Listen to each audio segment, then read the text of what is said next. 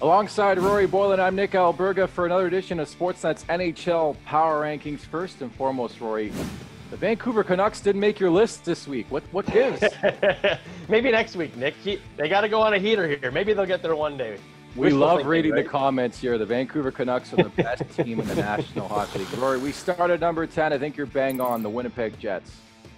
Yeah, Winnipeg. Um, you know, I don't even know if we've got the full view of this team yet because it's it's has taken Pierre Luc Dubois a while to settle in, and I think he's starting to get there. And I think that they're going to add a defenseman from somewhere at the deadline, and that's going to take some time to settle in. So I think the best is yet to come from the Winnipeg Jets. Already, they're a team that can play you kind of fast, play you heavy, whichever, maybe heavier if there's some muscle added to that back end. And of course, Connor Hellebuyck is what holds it all together. So they're just a really strong team. I don't think there's any big surprise here. They could be higher if they had won that series against Edmonton a week ago, but a good, strong showing against the Vancouver Canucks, getting wins and points that they should be getting. And now they're pushing maybe for the first overall spot in the North Division. You talk about number nine, a team to this point has been off all week because of the COVID situation in Montreal. They're back in action on Saturday night in Toronto. It's the Edmonton Oilers. I mean, this is going to be a big measuring stick series for them again. Uh, they, they didn't fare too well against the Toronto Maple Leafs the last time they played them at the start of this month, but you know, seven and two since then. Uh, top of the division is on the line here in this series. Mike Smith is a huge story in Edmonton. Uh, 920 save percentage, 235 uh, goals against average since that series against Toronto at the start of the month. Mikko Koskinen in that time too has been 938, 168. So the, the thing for me is that no one believes that's going to continue at that level for both of these goalies the rest of the way. So they need to take advantage of these guys when they are on their heaters. They're rested coming into Toronto. Just a huge weekend for the Oilers to establish themselves, maybe move up this list next week or fall off of it again. Nice tease. Uh, talk about tease. Tyson Barrie for Norris. We'll leave it at that. Number eight, the Pittsburgh Penguins. Rory, I'm kidding, by the way. Yeah, uh, I hope you are. Uh, uh, the Pittsburgh Penguins. I mean, I don't feel great about having a team like this in the top ten because I personally just don't believe in them all that much. But again, since Brian Burke and Ron Hextall got there, it's not their doing directly, but they have been on fire. And the last 10 games, they've been one of the best teams in the league as well. The, the problem is that for, for me personally, if I'm going to pick a playoff series, I have a hard time seeing myself picking Pittsburgh over Boston, the Islanders, or Washington. But you have to give them credit for the heater that they are on. And this is just they. This is a great example of how hard it is to put together a list like this in a season like this because you're only playing in division. Half of all these divisions, for the most part, are fairly soft touches. So when you look at a team like Pittsburgh, yeah, they're deserving of top 10 spot right now. But who have they been getting these wins against lately? Buffalo, New Jersey, Buffalo again, the New York Rangers. They had a split in a series with the Boston Bruins, which was really the one that you could get any sort of measure on them for. And, and you get a win and a loss in there. And Boston's not on this top 10. So, you know, it, it's just they're getting the wins that they need to, so they should be here. But I don't know if I really think Pittsburgh is a top 10 team or will be by the time the playoffs get here. Maybe they are because they do have that star power and they always have those guys that they find put in the lineup and they'll get goals from them. So you can't underestimate that. But there's still a lot of holes in this team, I think. Yeah, I'm with you on that front. I do like your point about uh, you know playing within the division. Uh, you know, compare them to say a team like Edmonton. There is a you know realism that Edmonton can get out of at least the first round. Where Pittsburgh, it's the, I think it's going to be a bit more tougher. Yeah. Uh, speaking of which, uh, a team that has surprised many, but all they do is make the playoffs, as we know over the last 20 years, the uh, Minnesota Wild. Yeah, Minnesota, um, yeah, the question is can they win a playoff series or two playoff series? You know, do something in the playoffs. They get there, but they never really win. You know, it was really impressive to me a couple weeks ago when they got two wins against the Vegas Golden Knights. I know they had dropped two against them on the road the week before, but to come back against a team like that, who I think many think is a good step ahead of the Wild, and win two against Vegas was really a bit of a message uh, they did get hammered by the Colorado Avalanche later on. We'll get to them in a bit. But Minnesota, I mean, everything is changing there. We've talked about it. The, the young core that is coming on, led by Kar- Kirill Kaprizov, um, they've got a good, pretty uh, uh defense core there uh, as well. Again, is this team one that you look at and say, yeah, they could come out of this division and be a top four team, a semifinalist? I have a hard time getting there, but we just have to get used to this idea of thinking about the Minnesota Wild differently because they are so so much changed from what we've seen before. So maybe th- what we're seeing from the regular season will carry over to the playoffs. They can get some momentum and win a playoff series. They were a huge disappointment in the bubble last year, right? You you thought maybe some momentum would would carry them. Kevin Fiala's hot finish was was a huge talking point, and they couldn't do it. Now they've got more towards that excitement and and the youth that is coming in. So maybe this is the year. They're giving us a lot of a lot of stuff to point at and say you know, a lot of reason to believe, but still a tough division at the top there. It's funny they add one player and their sex appeal goes through the roof. Uh, so they're at number yeah. seven. I jumped the gun just a tad, which leads us to number six, a team I think both you and I agree with and believe in at that. It's the Carolina Hurricanes. Yeah, and I would feel really comfortable uh, even having them higher uh, than they're currently ranked. But you just, you know, we'll get to the teams that are above them that I think right now are just playing better. But the, the, the reason why I didn't put Carolina higher, kind of getting back to that Pittsburgh point lately, they have been getting wins against the soft touches. They've been winning, getting wins against Columbus and, and Detroit uh, in that division, which is not a knock. You need to be getting those wins. But the last time that they had a quality win against an opponent, I think you have to you have to look back a little bit. And so when you're you're kind of weighing these things, some of these teams ahead of them are on uh, stronger heaters or have played some of the top teams and beat them more recently. But that's not at all a knock on on the Carolina Hurricanes. I think there's a top solid, pretty pretty solid top tier of teams that Carolina should be in, especially with the way Alex Nedeljkovic is going.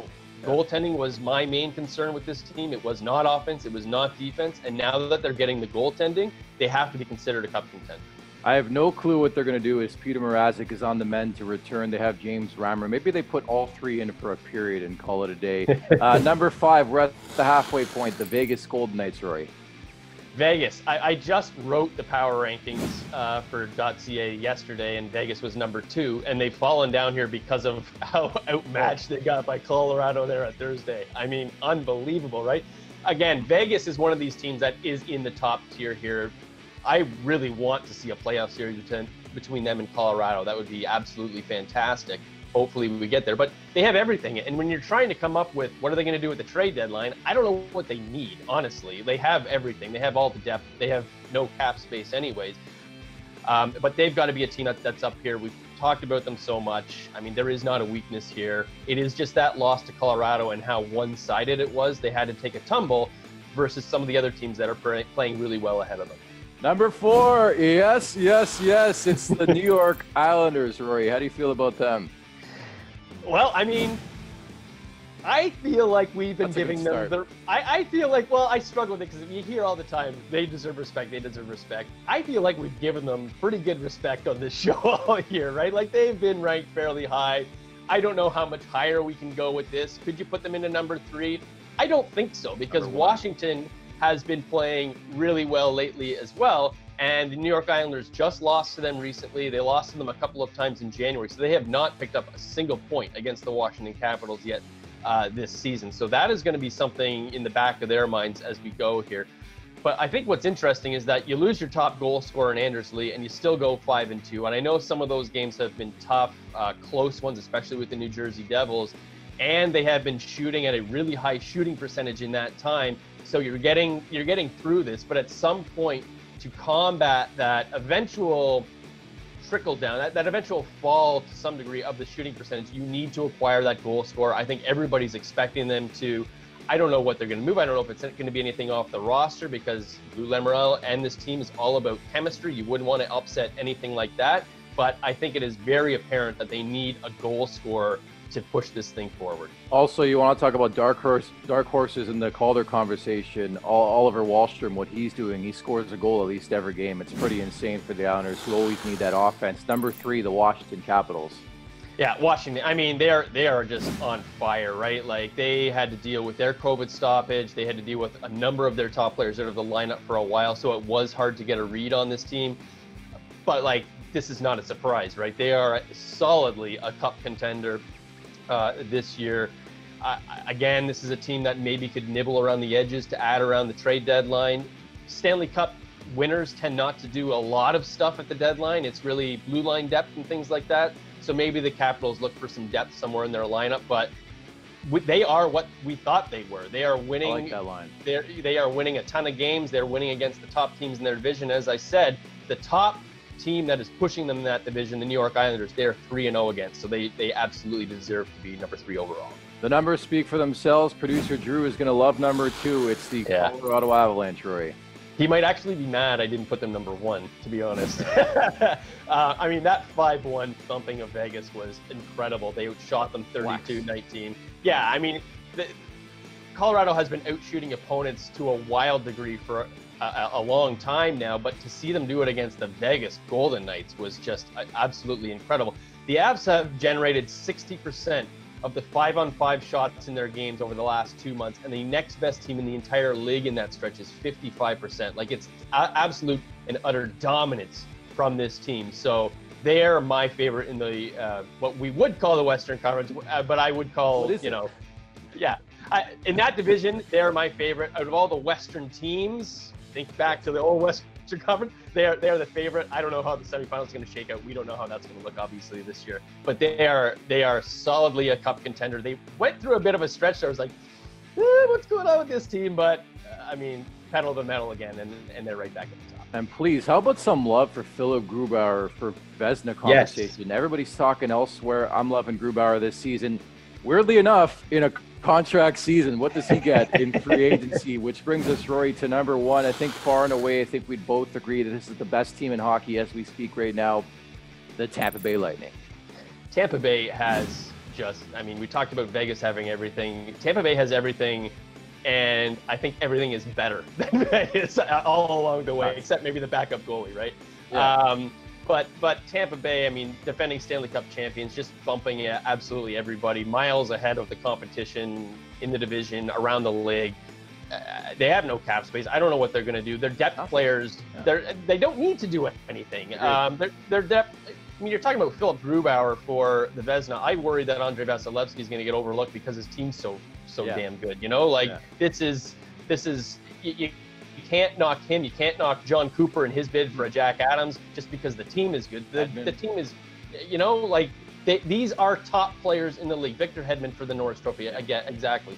Um, so, you know, you can point to every position on this team, and they have a top three player or better in the league at that spot. And so, uh, Tampa Bay is ahead of Colorado on this list, and I, I hesitate to say by how much, but I don't think it's, I don't think it's close at the moment. You know, I have to hesitate. You know, I I, I, not, I don't mean to say that I think Tampa Bay would roll over Colorado four nothing in a playoff series, but I don't know if there's a good case to be made for Colorado to be over them right now. I don't even know one point that you can make. And the best thing of all, no Nikita Kucherov, who's expected back for the Stanley Cup playoffs. For Power Rangers fans out there, it's they're like a factory of putty making right now. Like they just Alex Volkov, former second round pick, go to Anaheim. We don't need you. And the next man up, it's Ross Colton. Like it's insane the way they develop prospects there.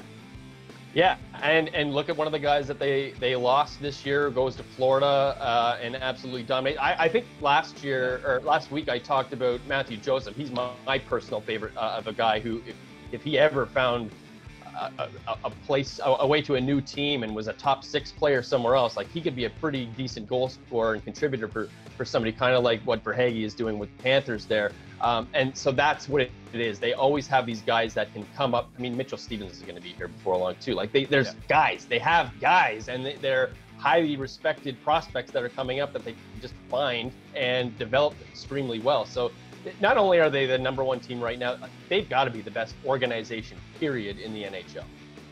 To my favorite part of the show as you wrap up, what did you miss in the top 10? Uh, I'm not as much of a stickler this week as I was last week, but you got to find a way to get Toronto in there. Uh, I know they struggled as of late. They're not they're not hitting on all cylinders right now, but to have Edmonton ahead of Toronto, I don't know how I feel about that, right? Yeah. So, I mean, honestly, that was tough. Um, the, the thing is, tough, yeah.